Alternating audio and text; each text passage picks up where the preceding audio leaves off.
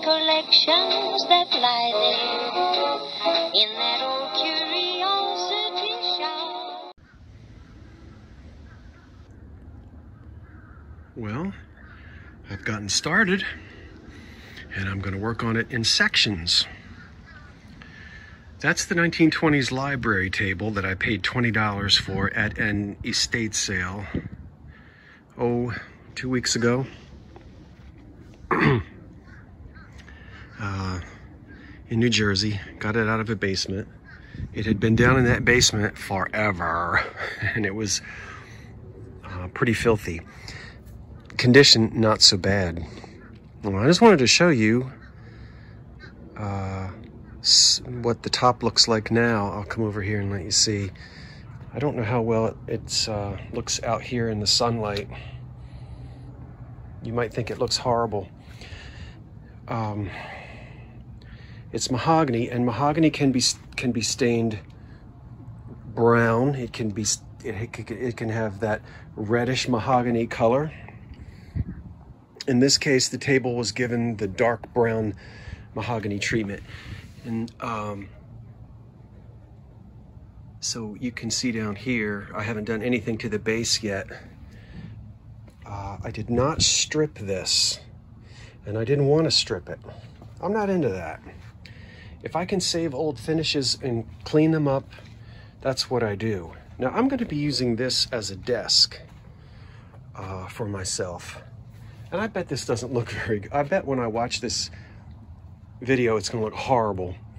The top hasn't dried yet, and when it dries, I will buff it to degloss it a little bit, to get it down to a satin uh, color. Satin finish is what I mean to say. But what I like is all the old original alligatoring of the old shellac. You see that? There you go. That's age that's 100 years of good old hot South Jersey summers and freezing cold winters that give you that look. And their little imperfections does not bother me a bit. Let me back up and let you see. Um, listen, if you want something to look perfect, you know where to go. and it's not in the antique world, right? So I like an old finish that shows its history. Uh, even like a cigarette burn or some old ink that has spilled. I like all that. So this will dry and then I'll take it down, get the gloss off of it. The um, I've, I've done nothing uh, to the bottom of it as you can see. 1920s library table, that might be the desk chair that I use.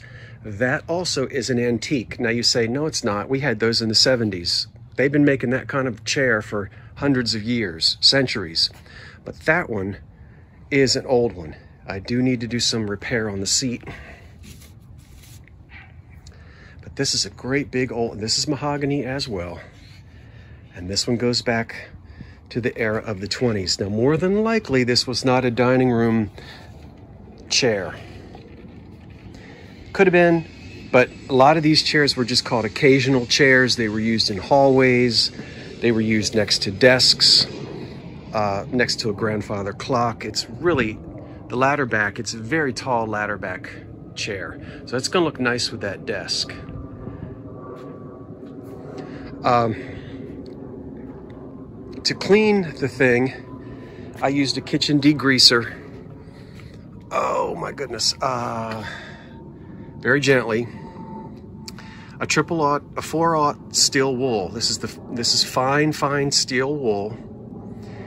And you clean it with a degreaser is what I used. Wipe it off with paper towels.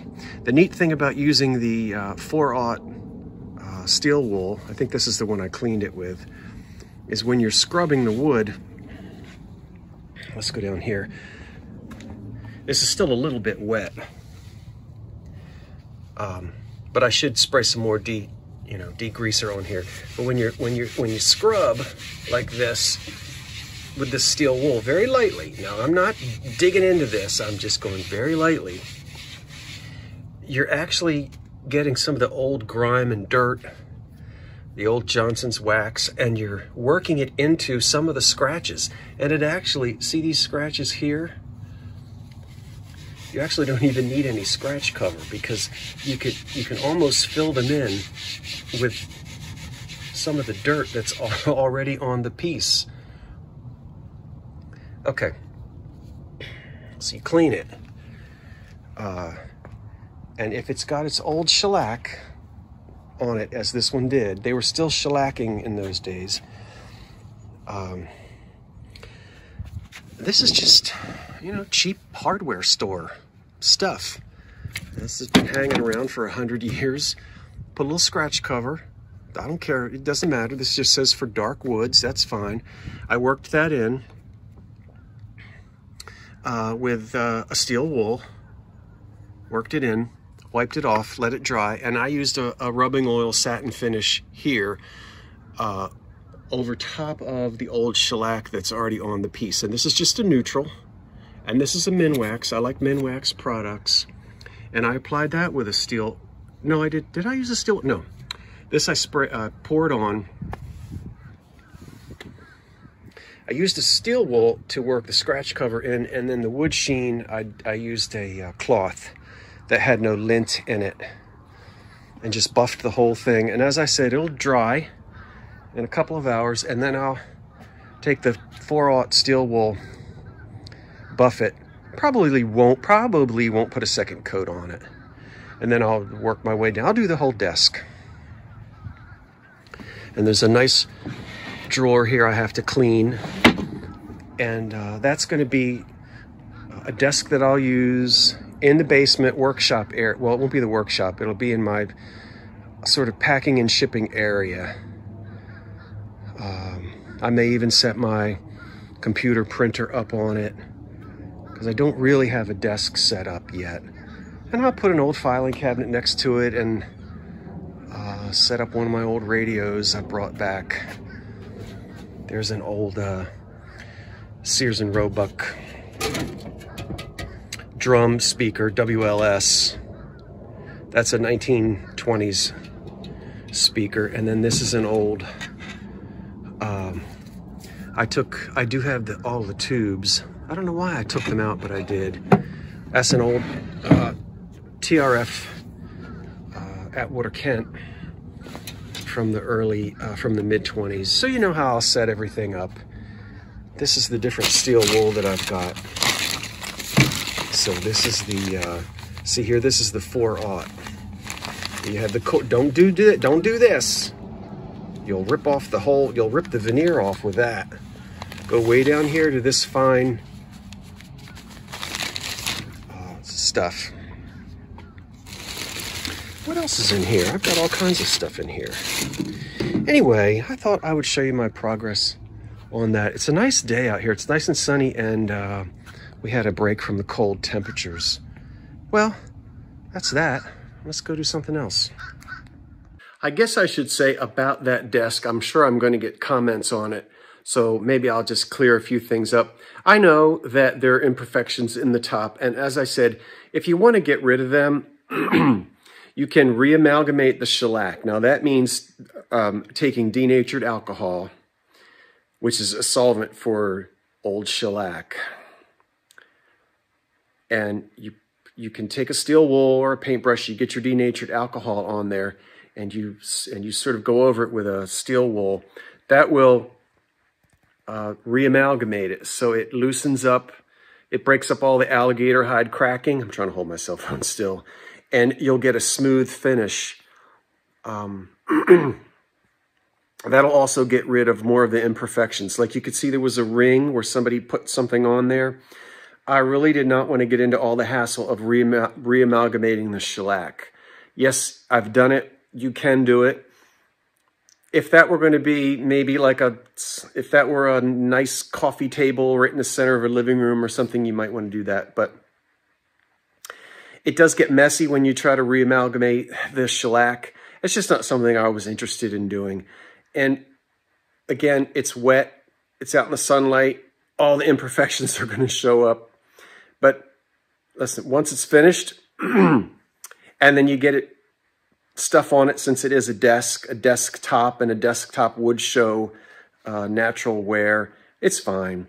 I just wanted to let everybody know that you can you, you can be more extensive uh, with your restoration. I'm doing it to please myself, so I chose to you know, not reamalgamate the shellac. And that lampshade is the wrong size. Let's talk about that lamp. We got to talk about lamps. Do you have lamp envy? You know you do. Now, we're not talking about the ceiling fixtures because we talked about them in another video. This guy right here, yes, that lampshade's too small. It's just sitting there. That is a great big old parlor lamp. That's right out of the 1920s. And they used to have, they used to make these humongous things. I don't even think I'm going to be able to use it in the 1925 bungalow. It's just too big. And it takes a lampshade twice the size uh, of, of this one. So, uh, but let's, let's pull this guy off for the moment and let you see the double sockets at the top. And then the, the, the two pull chains. Let me put this down. What am I going to do with it? Let's put it on top of this uh, torchiere. Is that to, no, that's going to mess it up. All right, whatever. put it in, in the old, put it in Granny's old rocking chair. Um, that's been around in my family forever. Ooh, I think Grandma, that great, let's see, great, that came out of the, uh, yeah, that's, I'd have to ask, that's, that's, that's old. Um, so anyway, look at this. Reeded. You can't see it. I don't have it. Look at that. Look at that mahogany lamp. Now this has been in somebody's, you can see some of the finish has come off down here. So look at that. That's as thick as an old dining room uh, table legs, spider webs. And some of the finish has gotten taken off of that. That's a nice, great big old mahogany lamp and it it deserves to be in a, a grand, grand room. Yes, I'm weeding through. I'm getting it. I'm getting it. I'm getting it. We're not there yet. I've got to get this keyboard out of here. Look at these old 1930s mirrors down here. And um, we, I'm not going to zoom up because we already looked at the clocks. Yeah. My music stand. There's some Victorian furniture in here and I'm working on my getting the um, rest of the things off of the bench, the workbench, some of the old radios, the old clocks, pipe organ uh, ranks or a rank there. And I'm going to take apart my Etsy. Oh my gosh, Etsy. Why did I say Etsy? Um, not awful. My Estey. Shame on me. My Estey pump organ uh, I had to take it apart to get it in here. And uh, in the summertime, I'm going to completely take the thing apart. And that's going to be a whole nother series as I redo the bellows and restore that entire old pump organ. I can't wait. That'll be probably like the fifth pump organ that I've restored in my lifetime. We're going to get inside and see what the mice have done to it. And uh, we'll get that all straightened out. And then I've got clocks to work on and they're just, there's not enough. There's just not enough hours in the day. Look at this old. Now, this probably goes back to, I want to say it was the Sesquicentennial, and I believe that was 1926. This looks like a 1920s frame, and these frames with this convex glass, they were popular then. And this is Philadelphia's Independence Hall uh, sepia uh, um, tinted photograph of Independence Hall, the backside of it with the Commodore Barry statue right there. So it's a very 1920s frame and uh, I, it, it, probably was a souvenir, something made available in, in uh, I'm just trying to remember, I think 1926. Was that right? Was that the sesquicentennial? I don't know. And then I'll talk about that some other time. And then I've got these these wonderful 1940s. Uh, I've got two of these. Well, I guess I better show them to you. You're gonna get you, you're gonna say, "Let me see, let's see." Let's get this the boy and the rabbit out of the way. I wasn't really ready to show you these yet, but I'm just fooling around in the basement here.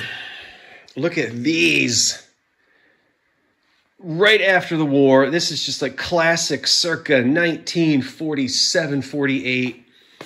And they you hang them on the wall. They're metal frames, reverse painted glass. Yeah, Dorothy Draper all the way. And you plug them in and you turn them on and they'll light at the bottom and they'll light at the top. So you get this really neat this is the beginning of that sort of exotic, we were talking about that the other day, and the abstract lamps and everything. So, and uh, I just want to, I'll probably touch up that one pedal right there. That's the only paint loss on it. This is reverse painted on glass. And this is the way they came uh, in two different colors, the frames. Yeah. So I'm going to have to do some work on those. I'll show you one more thing. An abstract water color that's from the 40s. I guess it's an original. Let's turn it over. This frame isn't very hot to trot. It's just a piece of paper in an old frame. And it's a Maybe somebody in some art school did it. I don't know, but very abstract, very late 40s. Yeah.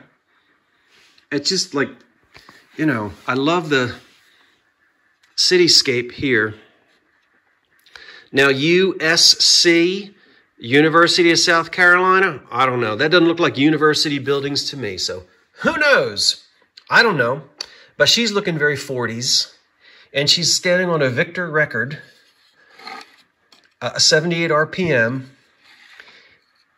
Grits, this has to, somebody must have done this in the South. And then uh, let's see, Yellow Cab. It's very abstract. And it's not signed. No, it's not dated. It's in an it's in a, an, an oak frame that's a lot older than than this original. I don't know where I got it. Got it from somewhere. You guys like it? Probably some art student.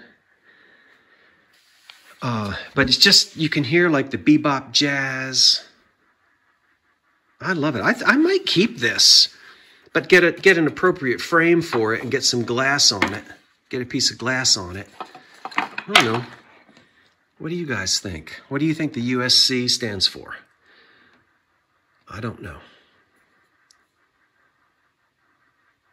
But I thought you might like, I thought you might like to see that.